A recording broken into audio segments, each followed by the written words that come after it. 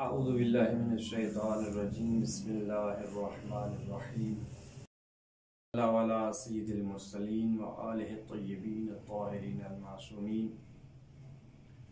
खसूसन अला मौलाना साहिबिल अस्र वज़्ज़मान वल्लानतु दाइमतु अला आदाइहिम मलऊनीन सामीन मोहतरम आज का हमारा उन्वान तकलीद के मौजू पे है। तकलीद ऐसा एक अमल है, ऐसा काम है, जो फितरी और अकली लिहाज से इंसान इसे फरार नहीं कर सकता। इससे दूर नहीं जा सकता, इससे भाग नहीं सकता। इंसान जब दुनिया में आता है, अभी अल्फाज थोड़े थोड़े से इब्तदाई कलिमात अदा करना शुरू करता है तो वहाँ से लेके एंड तक तकलीद के दायरा में ही रहता है। छोटा बच्चा होता है तो वालदेन को देखता है, उनके अल्फाज को सुनता है, सुन के फॉलो करता है, पैरवी करता है। उनके आमाल को देखता है, उस की पैरवी करता है। ये खुदा ने इंसान की फितरत में रखी हुई चीज़ है।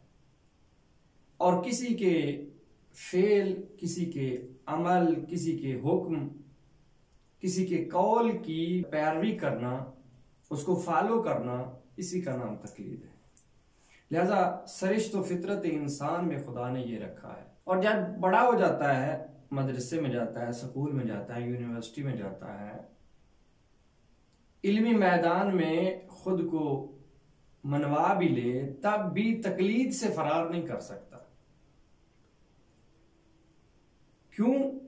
इसलिए इसकी मिसाल से मैं अगर ज़ाहिर कर दूँ तो बेहतर होगा कि एक डॉक्टर जिसने किसी एक खास मौरद में पीएचडी की हो, स्पेशलिस्ट हो, मसलन आँख के मौरद में, आई स्पेशलिस्ट हो या कोई और यही इतना पढ़ा लिखा इंसान, हम देखते हैं कि जब घर बनवाना हो तो अपना इल्म नहीं, बल्कि इंजीनियर और मिस्त्री के इल्म को मानता भी है और उनकी तकलीद भी करता है। वो जैसे कहेंगे, वैसे करेगा।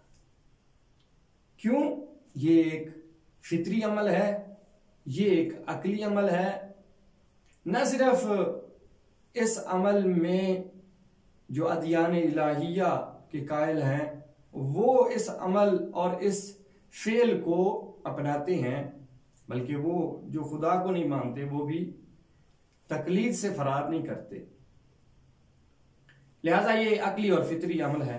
हाँ हम कुरान में देखते हैं कि इस फितरी और अकली अमल जो है कुछ आयात हमें ऐसी मिलती हैं जो आ, हमें ये बयान करते हुए नज़र आती हैं कि खुदा ने तकलीद की ममानियत फरमाई है, तकलीद से मना किया है।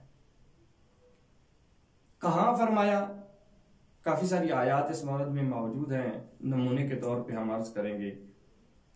एक जगह पे सूरह बकरा की एक सौ सत्तरवीं आयत में इरशाद रब्बुल इज़्ज़त है।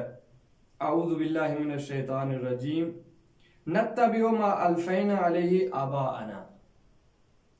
ये मुशरकीन की बात को बयान करते हुए खुदा फरमाता है कि मुशरक ये कहा करते थे कि हम उस चीज़ की इत्तेबा करते हैं जिस पे अपने आबा को देखा है, अपने बुज़ुर्गों को, अजदाद को देखा है।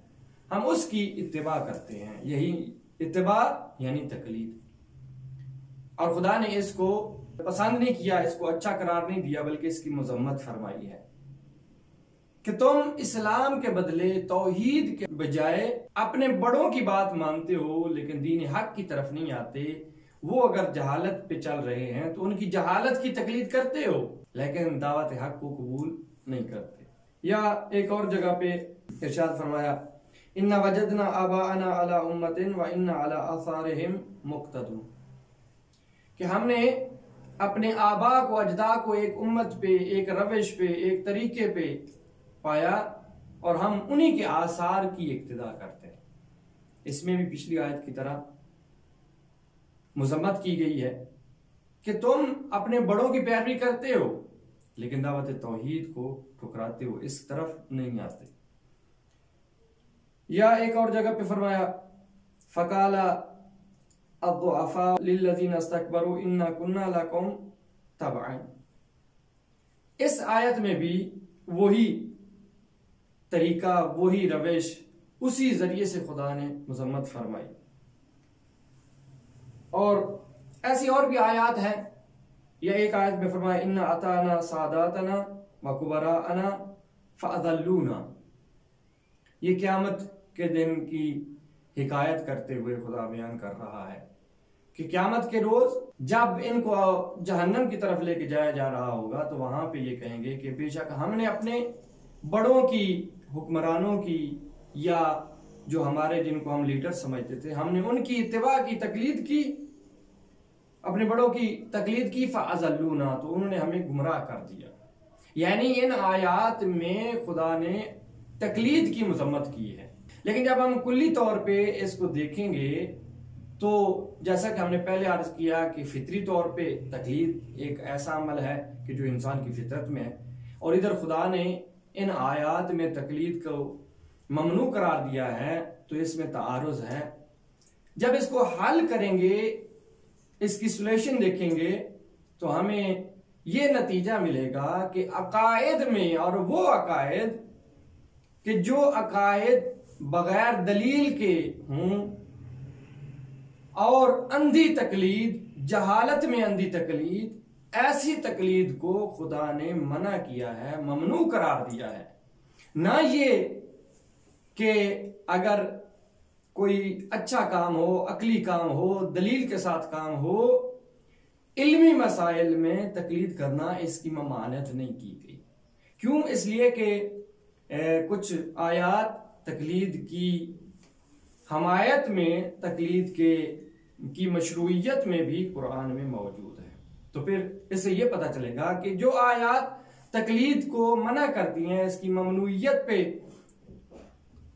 अपना बयान फरमाती हैं, उनसे मुराद वो आयात हैं जो जहालत में तकलीद होती है, किसी जाहिल की तकलीद होती है, अंधी तकलीद होती है, उसको मना किया गया है। ना कि इल्मी मसाइल में, दीन के मसाइल हासिल करने में, तकलीद करने को खुदा ने मना नहीं फरमाया।